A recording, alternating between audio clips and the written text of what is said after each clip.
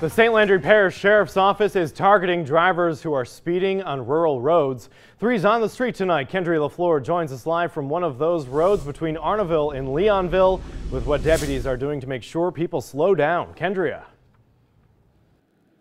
Yeah, Jim, deputies are using speed trailers like the one you can see right behind me. Now, they've only been up for about a month now, but the sheriff tells me it's already making a difference. The speed limit on Mesh Road is 35 miles an hour, a speed limit neighbors say drivers ignore. I know people are going at least 50 to 60 miles per hour, if not more. Yeah, I'm trying to yell at them. I know they can't hear me. and if they could, they probably don't care anyway, because that's why they're speeding. You know, they don't care. That concerns Holly Okwan. The road runs right behind Beau Chene High School, and she fears for students who drive and walk along the road. A child might get hit one day, and I would hate to see that happening right in front of my yard. It just takes one time for one child or one person to get hit. That's why speed trailers like this one are going up in the parish. The idea behind the trailers are simple. The sheriff just wants people to simply slow down. So far, they've caught people going up to 100 miles per hour.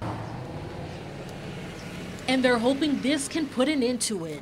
We get the data printed out. It's, there's a computer on board of this little trailer, and it gives me uh, and, and the enforcement team here, the supervisors, an idea where, where we need to put more boots on the ground. A deputy will be sent to areas where drivers are speeding and issue tickets to anyone caught speeding. I found was we have a need. We have over 960 square miles of parish roads here.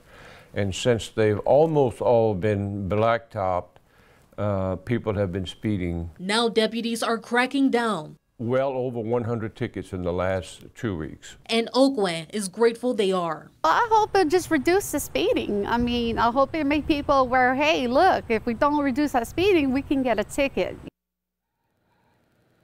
The sheriff's office will also present the data collected from the speed trailers to the parish government as a way to figure out what changes can be made to the roads. Three's on the street on Oscar Rivette Road, Kendria LaFleur, KATC TV3.